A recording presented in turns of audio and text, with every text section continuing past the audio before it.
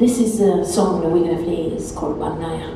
And actually, this song is to uh, pay homage to our elders in our society because they are those people who have sacrificed for us, shown us the way, educated us, been there for us.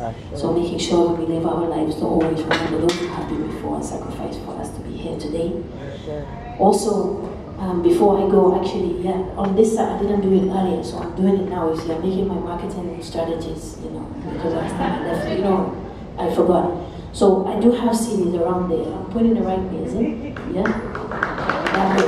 So, thank you. You know, so, but what is important is, um, I mentioned to you very briefly that my uh, work is in education. Um, but I just want to take a moment just to explain, not just education, because I know there are actually many beautiful people here, sure, who are also in education. But my father's general specifically is in Africa. I'm starting in the Gambia, which is where But um, I have an academy over there called the Gambia Academy. And that academy is first of a kind in the country. And whilst I'm proud to say that, I'm also not proud at the same time, because actually this is something I wish had been done decades ago.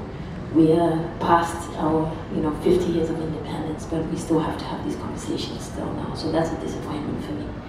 But uh, education in Africa is still very much a system which is carrying on that legacy of colonialism.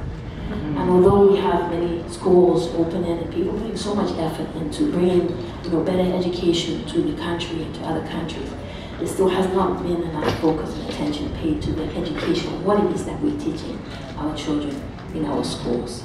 Now, I might expect, you know, I spend a lot of time in Europe, where, you know, I might expect that there's a lack of information regarding people's history, African history, African cultures, traditions, and so on. However, I shouldn't expect that inside the continent.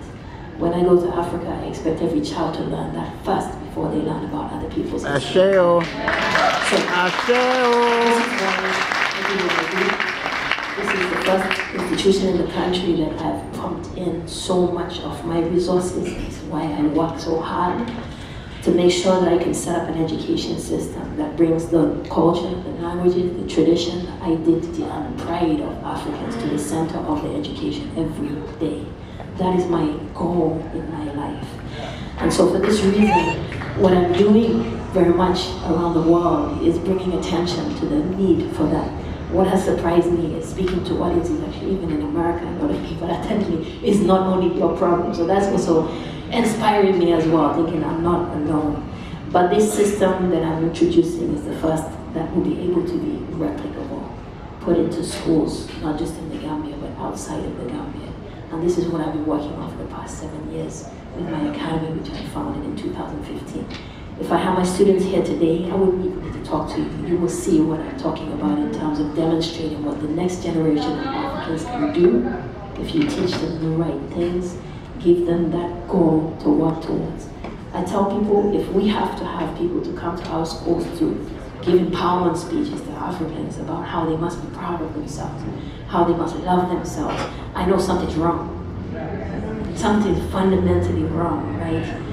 I've spent a lot of time in the UK. No one comes to British schools and tells people to be proud of being British. No one. That's because the education system teaches them that within. And that is what I want to see in Africa the same education system that keeps them in the country, developing our countries, being proud and utilizing the resources that they have because they have everything they need in their own continent. So this is what I dedicate my life to. On the last note, because that three minutes is running out very fast, on the last note, this is something I've run myself.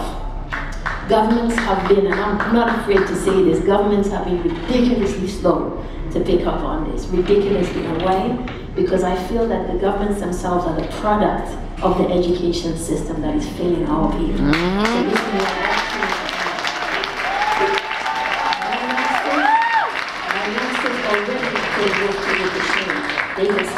stage and tell these people things they don't even know, those people have to hang their heads.